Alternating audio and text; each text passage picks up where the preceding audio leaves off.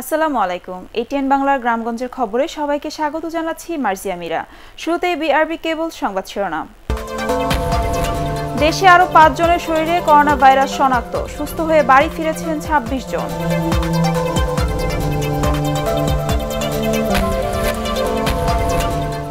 Corona সন্দেহে লকডাউনে মেহেরপুর, শেরপুর ও নারায়ণগঞ্জের বেশ কিছু পরিবার। নজরদারিতে স্থানীয় প্রশাসন। এবং করোনা ভাইরাসের সংক্রমণ প্রতিরোধ ও সামাজিক দূরত্ব বজায় রাখা নিশ্চিতে সারা দেশে তৎপর সশস্ত্র বাহিনী। শুনছিলেন বিআরবি কেবল সংবাদ শিরোনাম। এবার বিস্তারিত। গত চব্বিশ ঘন্টায় দেশে আরও পাঁচজন করোনা ভাইরাসে আক্রান্ত রোগী শনাক্ত হয়েছেন বলে জানিয়েছে রোগতত্ত্ব রোগ নিরাময় ও গবেষণা প্রতিষ্ঠান আইইডিসিআর। এ নিয়ে দেশে এখন পর্যন্ত আক্রান্তের সংখ্যা দাঁড়িয়েছে একষট্টি জনে। অনলাইন ব্রিফিংয়ে স্বাস্থ্যমন্ত্রী জাহিদ মালেক এ তথ্য জানিয়ে বলেন, এমন পরিস্থিতিতে চিকিৎসকদের ক্লিনিক ও ব্যক্তিগত চেম্বার বন্ধ রাখার ঘটনা দুঃখজনক। আরও জানাচ্ছেন রাসনা দাস। আইইডিসিআর এর নিয়মিত অনলাইন ব্রিফিং এর শুরুতেই ভিডিও কনফারেন্সে যুক্ত হয়ে দেশের করোনা ভাইরাসের সর্বশেষ পরিস্থিতি জানান স্বাস্থ্যমন্ত্রী। নতুন আক্রান্তের সংখ্যা ও সুস্থ হয়ে কয়েকজনের বাড়ি ফিরে যাওয়ার তথ্য জানিয়ে মন্ত্রী এ অবস্থায় প্রাইভেট হাসপাতাল ও ক্লিনিকগুলোকে বন্ধ না রেখে চিকিৎসা কার্যক্রম চালিয়ে যাওয়ার আহ্বান জানান। আমরা লক্ষ্য করছি যে আমাদের কিছু প্রাইভেট হাসপাতাল যেখানে কাজ কম হচ্ছে। ক্লিনিক এবং চেম্বারগুলো অনেকাংশে বন্ধ আছে, আমরা সামাজিক মাধ্যমে জানতে পারছি, আমরাও নিজেরাও দেখতে পাচ্ছি। কাজেই এই সময় আপনাদের পিছপা হওয়াটা খুবই যুক্তিসঙ্গত নয়। মানুষের পাশে দাঁড়ান, মানুষ, মানুষকে সেবা দেন, এইটাই সময়। আমরা কিন্তু এটা লক্ষ্য করছি। পরবর্তীকালে এই বিষয়ে আমরা অবশ্যই যা যা ব্যবস্থা নেওয়ার, আমরা কিন্তু সেই ব্যবস্থা নিতে পিছপা হব না। করোনা ভাইরাস পরীক্ষার কিটসের কোনো সংকট নেই দাবি করে স্বাস্থ্যমন্ত্রী জানান এরই মধ্যে দেশে চোদ্দ থেকে পনেরোটি জায়গায় পরীক্ষা শুরু হয়েছে। পরীক্ষার পরিসর বাড়ানোর জন্য আইসোলেশন ওয়ার্ড ও বড় হাসপাতাল নির্দিষ্ট করা হয়েছে। এখন আমাদের প্রায় চোদ্দ পনেরোটি জায়গায় পরীক্ষা শুরু হয়ে গেছে এবং আরও বেশ কয়েকটি জায়গায় পরীক্ষা শুরু হবে। পরীক্ষা করাটা খুবই জরুরি। আমরা আশা করি সকলে পরীক্ষা করার জন্য আসবেন। ব্রিফিং এ স্বাস্থ্য অধিদপ্তরের মহাপরিচালক আবুল কালাম আজাদ বলেন সারা দেশে গত চব্বিশ ঘন্টায় পাঁচশো তেরো জনের নমুনা সংগ্রহ করা হয়েছে এবং নতুন আক্রান্তদের আইসোলেশন শুরু হয়েছে। এ পর্যন্ত সর্বমোট আটচল্লিশ হাজার একত্রিশ জনকে কোয়ারেন্টাইন মুক্ত করায় বর্তমানে ষোলো হাজার চারশো তিরপান্ন জন কোয়ারেন্টাইনে আছেন। আমি স্বাস্থ্য অধিদপ্তরের পক্ষ হতে জনগণকে কোয়ারেন্টাইন বিধিমালা কঠোরভাবে মেনে চলার জন্য অনুরোধ জানাচ্ছি। আইসোলেশন সম্পর্কিত তথ্য গত চব্বিশ ঘন্টায় নতুন করে চোদ্দ জনকে আইসোলেশনে নেওয়া হয়েছে এবং দশ জনকে আইসোলেশন থেকে ছেড়ে দেওয়া হয়েছে। গত চব্বিশ ঘন্টায় কেউ করোনা ভাইরাসে আক্রান্ত হয়ে মারা যায়নি বলে জানিয়েছে আইইডিসিআর। এরই মধ্যে সুস্থ হয়ে বাড়ি ফিরে গেছেন ২৬ জন। রাসনা দাস এটিএন বাংলা ঢাকা। করোনা ভাইরাসের কারণে মেহেরপুর শেরপুর ও নারায়ণগঞ্জে বেশ কয়েকটি পরিবার লকডাউন করা হয়েছে। এর মধ্যে বৃহস্পতিবার রাতে কুষ্টিয়া মেডিকেল কলেজ হাসপাতালে করোনা উপসর্গ নিয়ে মেহেরপুরের এক ব্যক্তির মৃত্যুর পর তাদের বাড়িটি লকডাউন করে রাখা হয়। এছাড়া লকডাউনে আছে শেরপুরের একটি ও নারায়ণগঞ্জের একশোটি পরিবার। প্রতিনিধিদের তথ্যচিত্র নিয়ে আরও জানাচ্ছেন বিপ্লব রায়। সারা দেশে করোনা ভাইরাসের সংক্রমণ ঠেকাতে বর্তমানে কোথাও কারোর শরীরে ভাইরাসের উপসর্গ পেলেই তার বাড়ি লকডাউন করে রাখা হচ্ছে। মেহেরপুরের কোলাগ্রামে শ্বাসকষ্ট নিয়ে কুষ্টিয়া মেডিকেলে বৃহস্পতিবার মারা যাওয়ার পর তার বাড়ি লকডাউন করে রাখা হয়। ওই ব্যক্তি নৌবাহিনীর একজন সদস্য। পরিবারসহ ছুটি কাটাতে সপ্তাহখানেক আগে বগুড়া থেকে কুষ্টিয়া শ্বশুর বাড়িতে গিয়ে সম্প্রতি অসুস্থ হন। চিকিৎসকরা জানিয়েছেন, ওই ব্যক্তির শরীরের নমুনা সংগ্রহ করে ঢাকায় পাঠানো হয়েছে। করোনা ভাইরাস প্রতিরোধে আপনারা হোম কোয়ারেন্টাইন মেনে চলুন, যার যার বাসায় থাকুন। এদিকে নারায়ণগঞ্জ বন্দরের রসুলবাগে করোনা ভাইরাসে আক্রান্ত হয়ে বৃহস্পতিবার এক নারীর মৃত্যুর পর আশপাশের প্রায় একশো পরিবার লকডাউন করে রাখা হয়েছে। ভাইরাসের সংক্রমণ এড়াতে পরবর্তী নির্দেশ না দেওয়া পর্যন্ত এ পদক্ষেপ নেওয়া হয়েছে বলে জানিয়েছে স্থানীয় প্রশাসন। সামাজিক দূরত্ব বজায় রাখুন। সামাজিক দূরত্ব বজায় রাখার জন্য আমরা মসজিদে নামাজ পড়তে না যেতেছি জানাজায় যদি কম যেত, তাহলে আমাদের এতগুলো মানুষকেই লাগবে। আমরা এখন নিয়েছি এবং এরপর যেন আর কোনোটা না ঘটে সেই ব্যাপারে আমাদের সকলের আরও বেশি সচেতন থাকতে হবে। আমরা নারায়ণগঞ্জবাসীকে আবার অনুরোধ করব, আপনারা অবশ্যই যে যার মতো ঘরে থাকুন।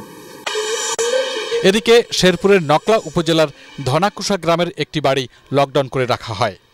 চার দিন আগে ঢাকা থেকে এক রিকশা চালক নকলায় যাওয়ার পর তার শরীরে করোনার উপসর্গ দেখা দেয়। পরে তার মা অসুস্থ হলে স্বাস্থ্যকর্মীরা তাদের শরীর থেকে নমুনা সংগ্রহ করে পরীক্ষার জন্য ময়মনসিংহ মেডিকেলে পাঠায়। এরপর বাড়িটি লকডাউন করে রাখা হয়েছে। বিপ্লব রায়, এটিএন বাংলা। করোনা ভাইরাসের সংক্রমণ প্রতিরোধে মানুষজনকে ঘরে রাখতে ও সামাজিক দূরত্ব বজায় রাখা নিশ্চিত করতে সারা দেশে তৎপর রয়েছে সশস্ত্র বাহিনী ও পুলিশ। জরুরি প্রয়োজন ছাড়া কেউ যেন বাইরে না আসে, এজন্য মাইকিং করা সহ লিফলেট বিতরণ করছে তারা। এছাড়া নিম্ন আয়ের মানুষদের মাঝে বিতরণ করা হচ্ছে খাদ্য সামগ্রী। প্রতিনিধিদের পাঠানো তথ্যছবি নিয়ে বিস্তারিত জানাচ্ছেন হুমায়ুন চিস্তি। করোনা ভাইরাসের সংক্রমণ প্রতিরোধে দেশব্যাপী প্রশাসনের পাশাপাশি কাজ করছে সশস্ত্র বাহিনী ও আইনশৃঙ্খলা বাহিনীর সদস্যরা। লিফলেট বিতরণ, মাইকিং, জীবাণুনাশক ছিটানো, মাস্ক বিতরণ সহ বিভিন্ন কার্যক্রম করছেন তারা। তাদের আহ্বানে ইতিবাচক সাড়াও মিলছে। খুব বেশি প্রয়োজন ছাড়া রাস্তায় বের হচ্ছেন না কেউ। যারা বিভিন্ন প্রয়োজনে রাস্তায় বের হচ্ছেন তারা যাতে মাস্ক পরা সহ সামাজিক দূরত্ব মেনে চলেন তা নিশ্চিত করতে মানুষকে সচেতন করছেন। নিত্য প্রয়োজনীয় দ্রব্যের দোকান ছাড়া অন্যান্য দোকানপাট যাতে বন্ধ রাখা হয় তাও তদারকি করা হচ্ছে। আছেন আমাদের সহায়তা করছেন অনেকে আছেন বোঝার পরেও না বোঝার ভান করছেন। যারা না বোঝার ভান করছেন তাদেরকে আমরা নিচ্ছি। প্রয়োজনীয় আইনত ব্যবস্থা গ্রহণ করছি। জরিমানা করা হচ্ছে জেল হাজতে প্রেরণ করা হচ্ছে। যদি আরও প্রয়োজন হয় আরও কঠোর হতে সেনাবাহিনী বাধ্য হবে। তো আমরা অনুরোধ করব সবাইকে যে আসেন আমরা একসাথে কাজটা করি। এদিকে করোনা ভাইরাসের কারণে টানা ছুটি আর ঘরে থাকার নির্দেশনায় কর্মহীন হয়ে পড়েছে খেটে খাওয়া নিম্ন আয়ের মানুষ। তাদের মাঝে ত্রাণ বিতরণ করছে সরকারের পাশাপাশি বিভিন্ন সংগঠন। Bureau report ATN Bangla. Corona ভাইরাসের প্রাদুর্ভাবের মধ্যেও চব্বিশ ঘণ্টা চিকিৎসা সেবা দিয়ে যাচ্ছে কুষ্টিয়ার আদ্দিন হাসপাতাল। জ্বর, সর্দি, কাশি সহ বিভিন্ন রোগের উপসর্গ নিয়ে আসা মানুষ অল্প খরচে এখানে চিকিৎসা নিতে পারছে। শুধু তাই নয়, সব রোগেরই চিকিৎসা দেওয়া হচ্ছে এই হাসপাতালটিতে। কুষ্টিয়া প্রতিনিধি তুহিন আহমেদের রিপোর্ট জানাচ্ছেন জাহেদুল আলম। সম্প্রতি করোনা ভাইরাসের সংক্রমণ বৃদ্ধি পাওয়ায় অনেক হাসপাতাল অন্য রোগের চিকিৎসা দিতে অনীহা প্রকাশ করে। এতে অসুস্থ রোগীরা বিপাকে পড়ে। অভিযোগ রয়েছে জ্বর সর্দি কাশির উপসর্গ নিয়ে কেউ হাসপাতালে আসলে চিকিৎসা না দিয়ে ফিরিয়ে দেয়া হচ্ছে। ব্যতিক্রম আদ্দিন হাসপাতাল। স্বল্প খরচে উন্নত চিকিৎসা পেয়ে রোগীরা খুশি। এখানে ডাক্তাররা রোগী দেখছে বলতেই তো আসছি না দেখলে তো আসতাম না। আট দিনের সেবাটা ভালো এরা সুন্দর এবং এদের পরিষ্কার পরিচ্ছন্নতা অন্য হাসপাতাল এবং এদের এখানে পয়সা করি খুব কম নিচ্ছে। অন্যান্য হাসপাতালে গিয়েছিলাম কিন্তু ওখানে কোনো ডাক্তার নেই ডাক্তার দেখছে না। এই জন্য বাধ্য হয়ে আট দিনে নিয়ে আসছে পরিবার নিয়ে। কোথাও ডাক্তার দেখাতে পারি না করোনার জন্য এখানে আপনারা আমাদের সুন্দরভাবে সেবা দিচ্ছে। চিকিৎসকরা বলেন সাধারণ মানুষের সেবা দিতে আদ্দিন হাসপাতাল চব্বিশ ঘন্টাই খোলা রয়েছে। দেশের এই সংকটময় সময় তারা রোগীদের পাশে থেকে সেবা দিয়ে যাবেন। অন্য কোথাও ডাক্তার দেখাতে পারেনি দেখে আমাদের এখানে এসেছে। কিন্তু আমরা সেবা আগের মতনই দিচ্ছি আমাদের এখানে সবকিছুই ওপেন আছে। আর দিনে সবকিছুই নর্মালি আর কি আমরা চিকিৎসা দিয়ে যাচ্ছি। ডক্টর হিসেবে আমরা মানে আতঙ্কে বন্ধ না আর কি যে জায়গায় যেরকম বন্ধ আর কি কিন্তু আমরা বন্ধ রাখিনি কোনো কিছুই সব রকম সেবাই আমাদের এখানে চালু আছে। আমাদের আট দিন হসপিটাল এক ধাপ এগিয়ে সেখানে। আমরা প্রাইভেট হসপিটাল হওয়া সত্ত্বেও প্রতিটা সার্ভিস আমাদের খোলা প্রতিটা সার্ভিস করোনা সংক্রমণ প্রতিরোধে রোগী ও স্বজনদের জন্য বিভিন্ন ব্যবস্থা নিয়েছে হাসপাতাল কর্তৃপক্ষ।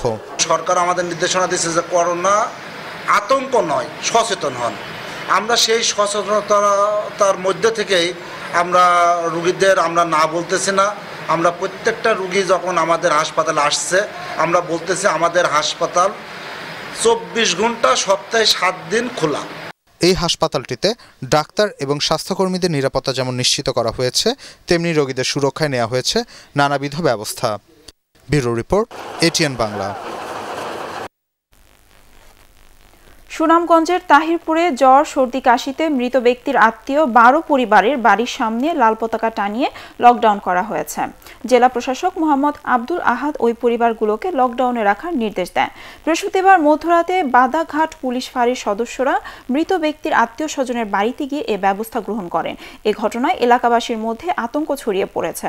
পরিবারের সদস্যরা জানান, সপ্তাহখানেক ধরে ওই তরুণ জ্বর, সর্দি, কাশিতে ভুগছিল। বুধবার সন্ধ্যায় ঢাকার একটি হাসপাতালে তার মৃত্যু হয়। বৃহস্পতিবার সন্ধ্যায় তার মরদেহ গ্রামে নিয়ে দাফন করা হয়।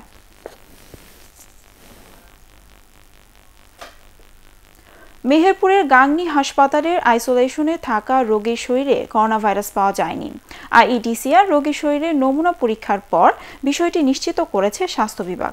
ফলে তার বাড়িসহ আশেপাশের দশটি বাড়ির লকডাউন প্রত্যাহার করেছে প্রশাসন। গাংনী উপজেলা স্বাস্থ্য কর্মকর্তা ডাক্তার রিয়াজুল আলম জানান গারাডোব গ্রামের বাউন্ন বছর বয়সী ওই ব্যক্তি কয়েকদিন ধরে জ্বর, হাঁপানি আর সর্দি কাশিতে ভুগছিলেন।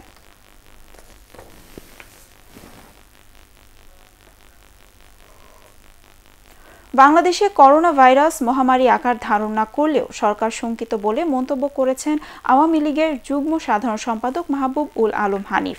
দুপুরে কুষ্টিয়া জেনারেল হাসপাতালে করোনা পরিস্থিতি নিয়ে মতবিনিময় সভা শেষে তিনি মন্তব্য করেন। করোনা ভাইরাস প্রতিরোধে সবাইকে সরকারি নির্দেশনা মেনে চলা ও ঘরে থাকারও আহ্বান জানান মাহবুব উল আলম হানিফ। করোনা ভাইরাস নিয়ে সারা বিশ্বের মানুষ আতঙ্কিত, উদ্বিগ্ন। আমরা বাংলাদেশে করোনা ভাইরাস এখনও মহামারী হিসেবে না আসলেও আমরা কিন্তু শঙ্কিত আছি। করোনা ভাইরাস রোধ করার জন্য সবচেয়ে প্রথম কাজ হচ্ছে ঘরে থাকা। মাননীয় প্রধানমন্ত্রী নির্দেশনা দিয়েছেন, সেটার জন্য সারা দেশে সকলে ব্যাপারে উদ্যোগ নিয়েছেন। আমাদের প্রশাসনের তারাও চেষ্টা করেছেন এবং সকল স্কুল, কলেজ সব সরকারি ছুটি দিয়েছেন যাতে মানুষরা ঘরে বসে থাকতে পারে। করোনা ভাইরাস নিয়ে গুজবে কান না দিয়ে প্রধানমন্ত্রীর নির্দেশনা মেনে চলার আহ্বান জানিয়েছেন তথ্য প্রতিমন্ত্রী ডাক্তার মুরাদ হাসান। দুপুরে জামালপুরের সরিষাবাড়ির দৌলতপুরে জনপ্রতিনিধিদের সাথে মতবিনিময় সভায় তিনি এ আহ্বান জানান। এ সময় দলীয় নেতাকর্মী সহ সমাজের বিত্তবানদের অসহায় মানুষের পাশে দাঁড়ানোরও আহ্বান জানান তথ্য প্রতিমন্ত্রী। উপজেলা চেয়ারম্যান গিয়াসুদ্দিন পাঠান ও পৌর মেয়র রুকনুজ্জামান রুকন সভায় উপস্থিত ছিলেন।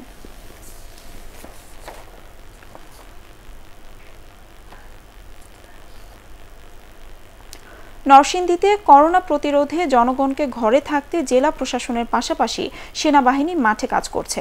সকালে জেলা প্রশাসনের সিনিয়র নির্বাহী ম্যাজিস্ট্রেট শাখাওয়াত জামিল সৈকতের নেতৃত্বে সেনাবাহিনীর একটি টিম শহরের বিভিন্ন এলাকায় সতর্কতামূলক প্রচারণা চালায়। এ সময় সেনা সদস্যরা জনগণকে ঘরে থাকার পাশাপাশি সরকারের নির্দেশনা মেনে চলতে কঠোর হুঁশিয়ারি উচ্চারণ করেন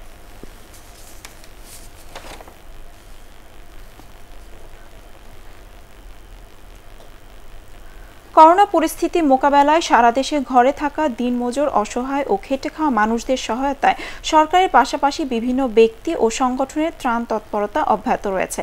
গাইবান্ধার সাঘাটা ও ফুলছড়ি উপজেলার পাঁচ শতাধিক হোটেল কর্মচারীর মধ্যে জাতীয় সংসদের deputy speaker advocate Fazle Rabbi মিয়ার পক্ষ থেকে ত্রাণ বিতরণ করা হয়েছে। সাঘাটা উপজেলা চেয়ারম্যান জাহাঙ্গীর কবির ও উপজেলার নির্বাহী অফিসার মহিউদ্দিন জাহাঙ্গীর এ সময় উপস্থিত ছিলেন।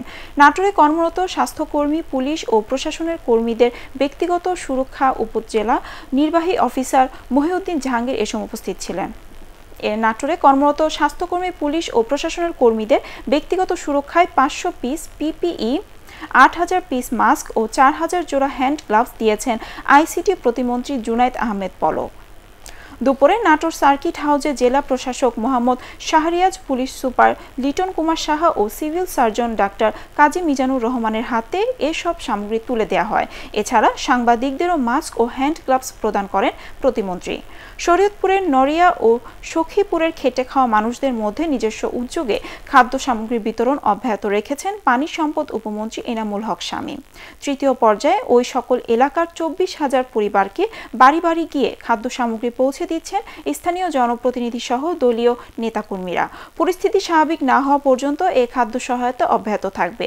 খুলনায় সাধারণ ছুটিতে কর্মহীন হয়ে পড়া খেটে খাওয়া মানুষদের খাদ্য সাহায্য প্রদান করছে জেলা প্রশাসনের পাশাপাশি সিটি মেয়র, বিভিন্ন সরকারি সংস্থা ও সামাজিক সংগঠনের সদস্যরা।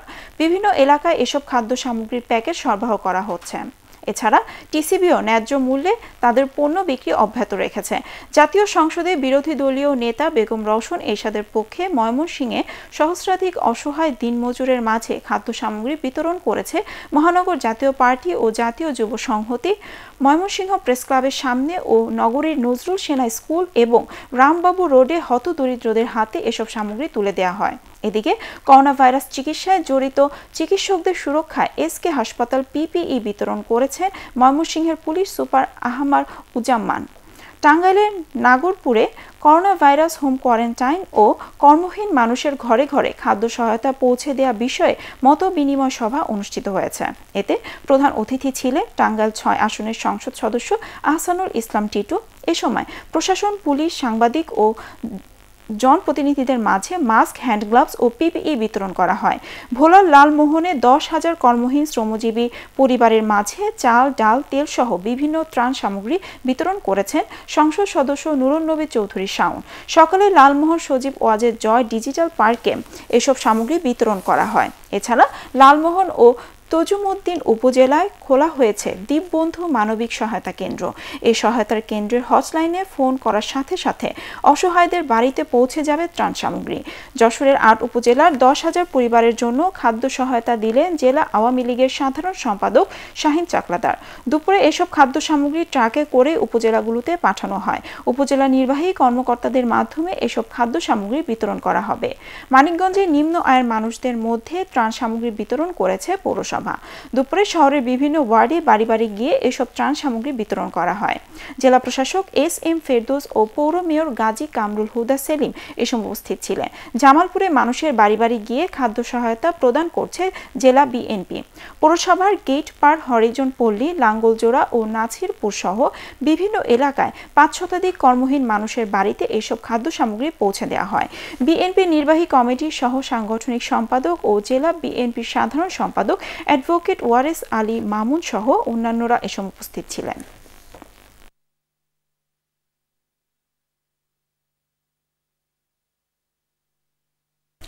শেরপুরে এবার বিএফডিসির বীজ আলুর বাম্পার ফলন হয়েছে। আলু তোলা ও বাছাই সহ নানা কাজে জড়িত চাষি ও নারী শ্রমিকরা এখন ব্যস্ত সময় পার করছেন। শেরপুরে বিএডিসির তত্ত্বাবধানে চলতি মৌসুমে চারশো পঁয়ষট্টি একর জমিতে বীজ আলু আবাদ হয়েছে। সদর উপজেলার টিকারচর, দীঘলদি লক্ষ্মণপুর কুড়িপাড়া হাতি, আগলা সহ চরাঞ্চলের বিভিন্ন স্থানে এসব আলু চাষ করা হয়। আলুর উৎপাদন যাতে ভালো হয় সেজন্য চাষিদের প্রয়োজনীয় প্রশিক্ষণ সহ বীজ, সার, কীটনাশক সরবরাহ ও কৃষি ঋণের ব্যবস্থা করে বিএডিসি এবছর বীজ আলু উৎপাদনের লক্ষ্যমাত্রা ধরা হয়েছিল দুই হাজার পাঁচশো বাইশ মেট্রিক টন। তবে ফলন ভালো হয়, লক্ষ্যমাত্রা ছাড়িয়ে যাবে বলে আশা করা হচ্ছে। দর্শক, পরবর্তী সংবাদ দেখার আমন্ত্রণ জানিয়ে এখনকার মতো শেষ করছি। সবাই ঘরে থাকুন, নিরাপদে থাকুন। এটিএন বাংলা সংবাদ ইউটিউবে দেখতে ব্রাউজ করুন YouTube slash ATN Bangla news